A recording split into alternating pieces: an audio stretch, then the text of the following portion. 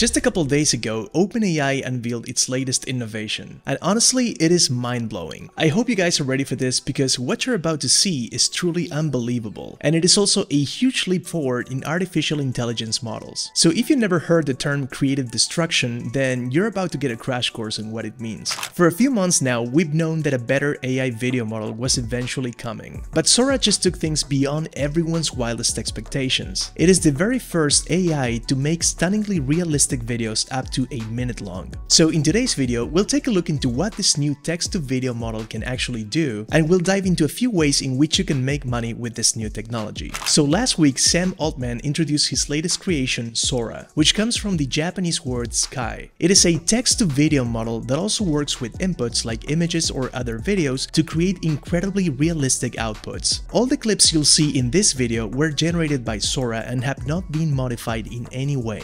Now, this is definitely not the first AI video model we've seen. We already have some open models like Stable Video Diffusion and private products like Pika, but Sora truly blows everything else out of the water. Not only are the images way more realistic, but they can maintain an incredible level of cohesion between frames, which is something that other models were drastically lacking. Sora can also render videos in different aspect ratios, and it can generate those videos either from a text prompt like in Midjourney or from a static image that gets brought to life. Now, to be completely honest guys, the first time I ever saw these clips, I actually thought that OpenAI was cherry-picking these examples, but apparently that's not the case. In fact, X has been flooded with more examples these past few days, and the results are just as amazing. Now, this technology is not yet available to the market, but we all know that it will be eventually. So the question then becomes, how is this technology going to change the world? Well, just last year, tools like Photoshop incorporated a whole suite of AI editing tools, which we all appreciate by the way. And soon, you'll be able to do the same with video. Like you might have a clip of a car driving down the road, and you might want to change the background scenery or even modify the weather. Now, you'll be able to do that without having to hire a camera crew or a CGI expert.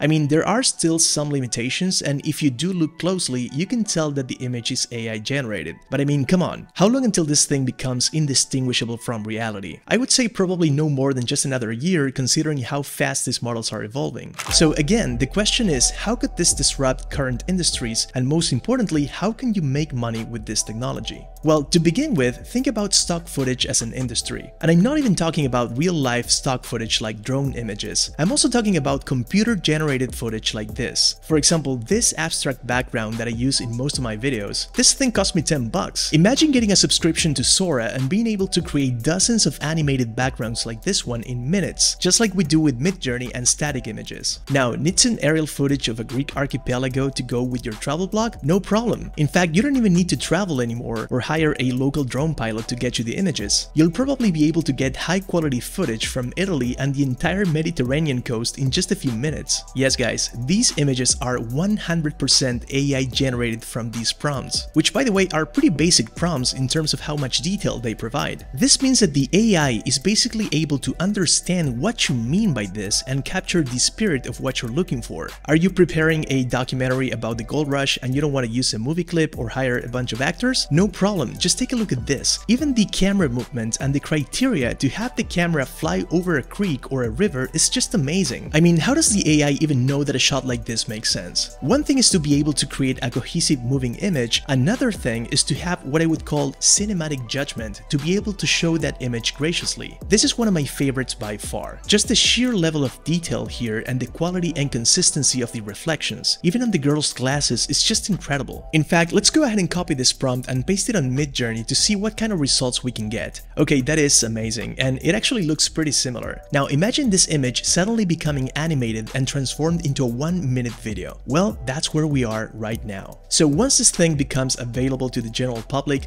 I believe the first thing to go will be stock footage. If you are familiar with video editing, you know there's dozens of websites out there that offer you stock footage to use as b-roll in your content. So whenever you need some footage to go with the topic of your video, you can go ahead and search something something like men hiking on a mountain and you'll get a bunch of options. But you have to work with what you've got and the level of customization to this footage is is non-existent. You cannot change the clothes on this man or the mountain in the background or the weather or even the time of day. But with Sora, you're gonna be able to generate precisely the kind of footage you need for your video. And if it's anything like Midjourney, which I believe it definitely will be, you won't be able to get the exact same footage even if you use the exact same prompt, which means that whatever footage you generate will be 100% original and exclusive to your content. That is a game changer right there, and it's also most likely game over for stock footage providers, many of which are actually pretty expensive. So with this technology, you could start your own site and sell custom stock footage for a small subscription. Now you might wonder why would anyone pay for a service like that when they can just create their own footage using Sora? Well, the answer is simple. For the same reason people today buy AI generated art wall or books. Not everyone will be familiar with prompt crafting and the way AI video generators work. And also, I would assume that the subscription to this technology is probably not gonna be cheap. So most people are not gonna wanna pay a full subscription if they can simply buy a specific piece of footage for a small price. The second way in which you'll likely be able to generate money with this technology is by creating short-form promotional content. Already millions of brands hire camera crews, video editors, and special effects artists to create short-form promotional content for their products. But now you could hire a single guy to shoot your product and then use Sora to create a wonderful commercial for it in just a few seconds. One of the most exciting things about this technology is the modalities where it depends on inputs other than text alone, such as let's say image to video or even video to video. Just look at this example that Martin Nebelong uploaded to X just yesterday of a red car driving down a winding road. You can feed the AI a base video and in just a matter of minutes, you can change the scenery to whatever you want, like a jungle or a cyberpunk city. What if you could drive in space on a rainbow road, or even go back in time to the 1920s? I mean, it is just incredible, just imagine the possibilities. Forget about logistics and special effects, Sora could take care of everything by simply feeding it a raw base video and then transforming it into a wild promotional video with special effects, different camera shots, and much more.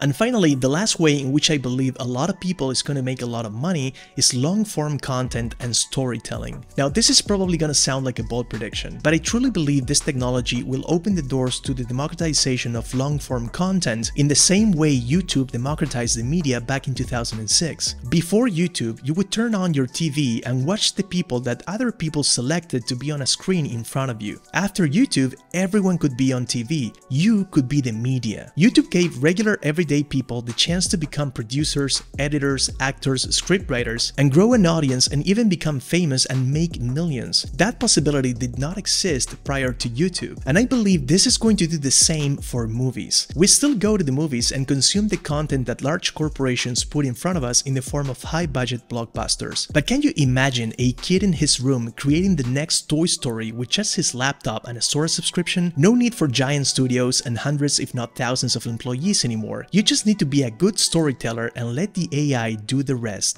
In my opinion, this will bring about a new breed of content creators that are going to revolutionize the storytelling market. Will this be game over for giants like Disney and Pixar? I mean, probably, but it would also be a life-changing opportunity for an entire new generation of content creators. I mean, yeah, big studios are also going to use AI to create their products, but so will everyone else. And just like mainstream media took a massive hit and continues to lose viewers to internet content creators, the same will will happen to these mainstream storytellers. So here's my take. In the next couple months, YouTube is probably gonna get flooded with new videos about how to make money with Sora. But when you think about ways to monetize a new technology, you first and foremost have to think about the output. What does this technology produce? And the answer, of course, is video it produces video. So it doesn't really produce anything new. What it does is it makes that production much easier. Now, what do I mean by this? That Sora is probably not going to bring about a whole set of brand new markets with it, but it will make existing markets more easily accessible to new participants, particularly on the production side. Think about what happened with Midjourney. Its output are images, and what it does is it generates those images in a fraction of the time it would otherwise take if you did it the old-fashioned way. But if you browse through YouTube and other platforms, including this channel, you'll quickly notice that Midjourney is mostly being used to produce something that was already being produced through other less productive means. So people continue to sell the same products as usual, ebooks or printable wall art or t-shirt designs, and all that's really changed is that those markets have now become accessible to people that did not possess the skills to produce those designs on their own, or didn't have the capital to pay someone to create them. And the result is a huge uptake in supply, which of course benefits consumers and suppliers alike. And this is exactly what new technology technologies should be about. They should make our lives easier, they should make us more productive and make our jobs more enjoyable. So definitely exciting times ahead guys. Please let me know in the comments what other ways of monetizing this technology you can think of. As always, thank you guys so much for watching. Please don't forget to subscribe to the channel and drop a like on the video if you found it useful, and I'll see you guys next week. Say, say, say.